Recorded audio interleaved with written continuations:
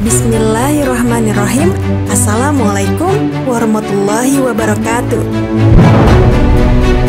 Sahabat muslim Sholat lima waktu merupakan ibadah wajib bagi umat Islam yang apabila ditinggalkan akan mendapatkan dosa.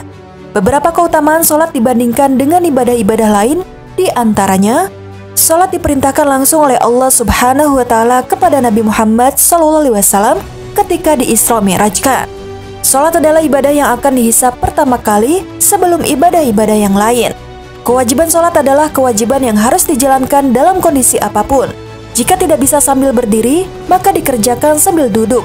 Jika tidak bisa, maka sambil telentang. Dan sholat adalah ibadah yang wajib dikerjakan setiap hari hingga ajal menjemput. Lantas, apa siksaan bagi orang-orang yang meninggalkan sholat secara sengaja? Berikut ini tempat dan jenis siksaan yang akan diterima bagi orang-orang yang meninggalkan sholat. Simak terus video ini, namun sebelum lanjut ke videonya silahkan tekan tombol subscribe dan tombol lonceng di bawah ini sebagai bentuk dukungan kalian agar channel ini tetap terus menyebarkan informasi seputar Islam. Dan terima kasih untuk yang sudah subscribe.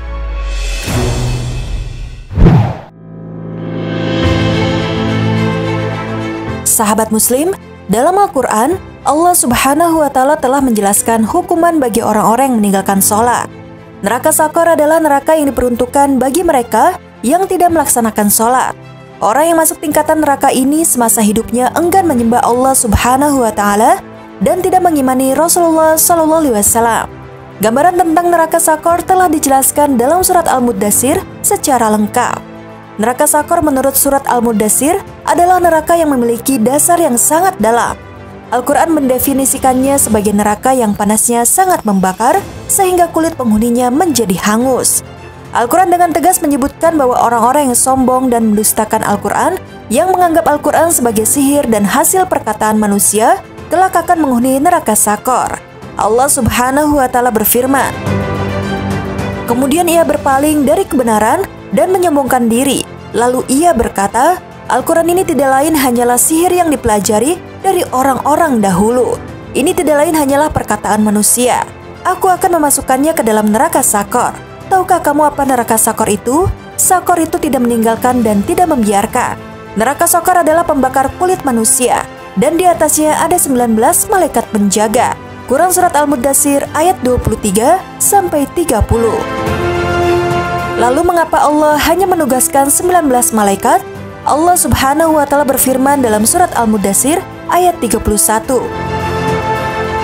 Dan yang kami jadikan penjaga neraka itu hanya dari malaikat, dan kami menentukan bilangan mereka itu hanya sebagai cobaan bagi orang-orang kafir, agar orang-orang yang diberi kitab menjadi yakin, agar orang yang beriman bertambah imannya, agar orang-orang yang diberi kitab dan orang-orang mukmin itu tidak ragu-ragu, dan agar orang-orang yang di dalam hatinya ada penyakit dan orang-orang kafir berkata, Apakah yang dikendaki Allah dengan bilangan ini sebagai suatu perumpamaan? Demikianlah Allah membiarkan sesat orang-orang yang dia kehendaki dan memberi petunjuk kepada orang-orang yang dia kehendaki. Dan tidak ada yang mengetahui bala tentara Tuhanmu kecuali dia sendiri. Dan sakor itu tidak lain hanyalah peringatan bagi manusia. Calon penghuni neraka sakor berikutnya adalah mereka yang suka meninggalkan sholat. Mereka enggan memberi makan fakir miskin, senang membicarakan keburukan, dan tidak percaya akan keberadaan hari pembalasan. Penjelasan ini ditegaskan dalam firman Allah Subhanahu wa taala sebagai berikut. Apakah yang memasukkan kamu ke dalam sakor atau neraka? Mereka menjawab, kami dahulu tidak termasuk orang-orang yang mengerjakan sholat. Selain tidak pernah sholat, Allah subhanahu wa ta'ala menyiapkan neraka sakor bagi mereka yang tidak pernah memberi makan orang miskin, membicarakan keburukan, dan tidak percaya hari pembalasan.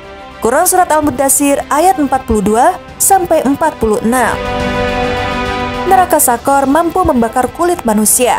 Siksaan di dalamnya amat pedih, sebagaimana difirmankan Allah Subhanahu wa taala dalam surat Al-Mudassir ayat 26 sampai 29. Aku akan memasukkannya ke dalam neraka Sakor. Tahukah kamu apakah neraka Sakor itu? Sakor itu tidak meninggalkan dan tidak membiarkan.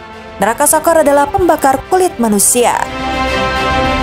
Menurut ulama salaf, api neraka Sakor mampu membakar otak, daging, dan tulang manusia. Muhammad bin Ka'ab Al-Qurazi mengatakan, api melahap orang itu sampai ke jantungnya. Apabila api telah mencapai jantungnya, maka tubuhnya dipulihkan kembali. Dari Sabit Al-Bunani, bahwa ia menceritakan ayat ini kemudian berkata, Api membakar mereka sampai ke jantung dalam keadaan hidup. Mereka benar-benar merasa tersiksa. Mengingat siksaan yang amat pedih tersebut, Sabit pun menangis. Wallahu alam bisawab.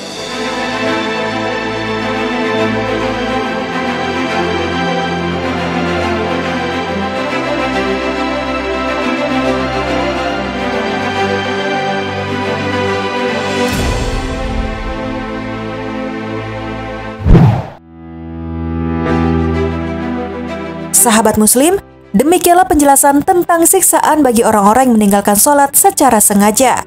Sholat adalah ibadah istimewa dan mempunyai kedudukan tinggi dalam syariat Islam. Sholat bukan hanya sekedar rutinitas atau ritual semata. Jika diamalkan dengan sungguh-sungguh, sholat akan mendatangkan ketenangan hati dan keselamatan dalam hidup di dunia maupun di akhirat nanti. Semoga kita termasuk hamba Allah yang selalu menjaga sholatnya. Amin ya Rabbal Alamin. Sekian video kali ini. Wassalamualaikum warahmatullahi wabarakatuh.